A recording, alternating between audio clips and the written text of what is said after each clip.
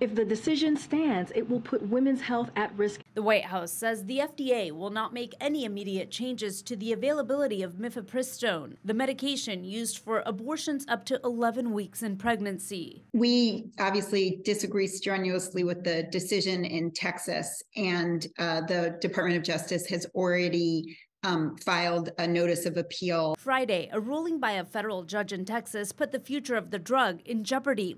The administration is appealing, but some Democrats say the FDA has the authority to ignore the ruling, an idea Texas Congressman Tony Gonzalez rejects. It's very dangerous when you have the, the, the administration coming out and saying they, they may not uphold uh, a ruling. But the issue is complicated because on Friday, a different judge in Washington state issued a contradictory ruling barring the FDA from doing anything to reduce the availability of the drug. And I think it's important that states uh, dictate their futures. What's really egregious about this opinion is that it would be a, a nationwide ban. Jennifer Klein, director of the White House Gender Policy Council, believes the Biden administration could win in court even if the case ends up before the conservative leaning U.S. Supreme Court. Klein says when the Supreme Court ended nationwide abortion rights, the court said it was returning power to states. This ruling in this case um, would be the exact opposite.